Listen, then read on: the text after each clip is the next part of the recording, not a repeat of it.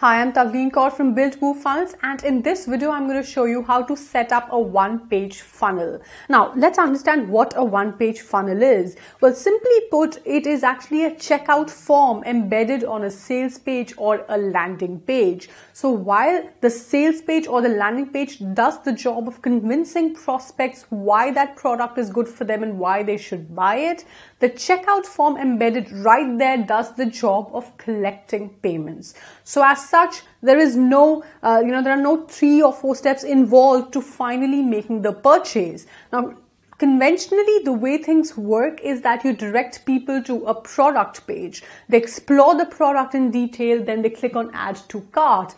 And after they click on add to cart, they actually view cart and then they click on proceed to checkout and finally on place order. So a good three steps involved before they finally get to the checkout page and make the payment, right? So a one page funnel or an embedded checkout form slashes all these steps and makes it just a one step process.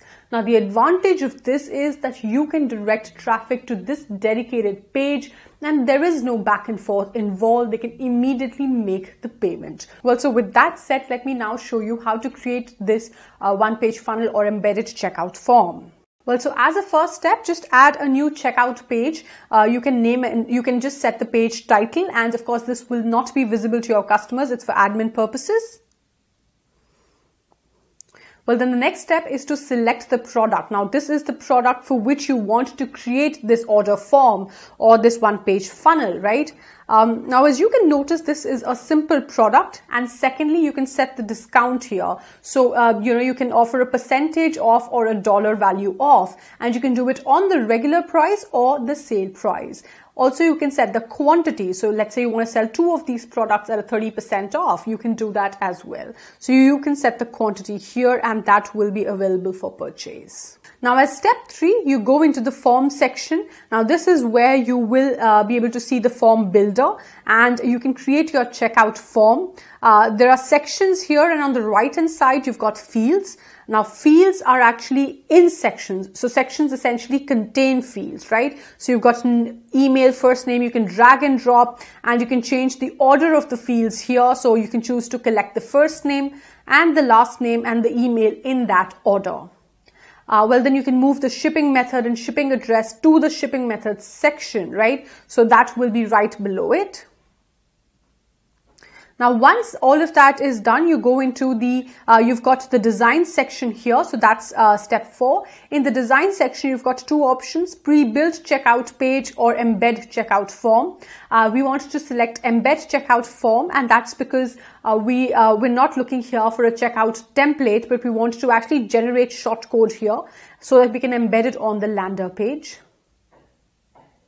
Okay, so you select embed checkout form and then, uh, you know, this uh, customizer will open up. Now here you can uh, sort of change colors, you can, uh, you know, change the, change the font size, the font type and all of that stuff here.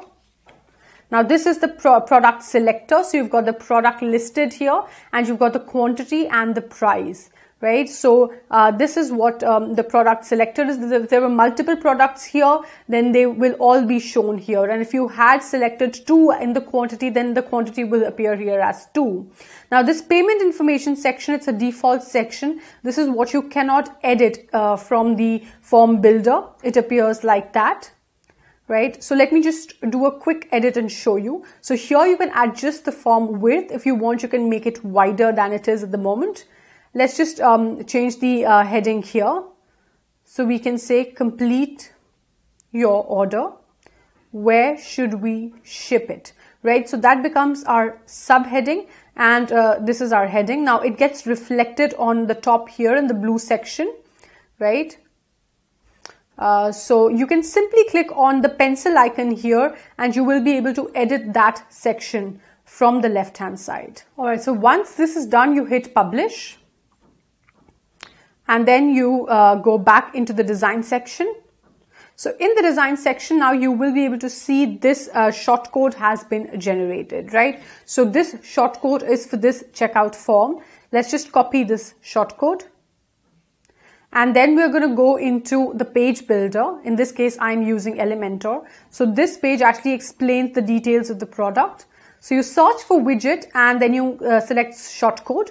You drag and drop the short code to wherever you want to place the checkout form and then you enter your short code, hit apply. So uh, that's it. Now let me show you how it appears on the front end. Yep. So here you go. So well, this is how the checkout form has got embedded here and it, it is very well functional. It helps you collect payments. And so while the pro the, the Lander actually does the job of convincing prospects to buy the product. The checkout form right here does the job of collecting payments in a very friction free manner. I wanted to share with you a quick optimization hack. If you want, you can also create a two step checkout form and collect the basic information in the first step and then dedicate the step two to collecting shipping details and billing details. Well, so this will help you minimize overwhelm. Let me show you how it will look. Well, so this is how it will appear. It's a basic two-step form. You can always make the requisite ed edits by clicking on the pencil icon here. So uh, they can fill out their basic information in step one and then the remaining details on step two. And the biggest advantage of a two-step form over a one-step form is that it looks much less overwhelming. And of course, it's very short and concise, thus making it a perfect fit for your landing page or sales page.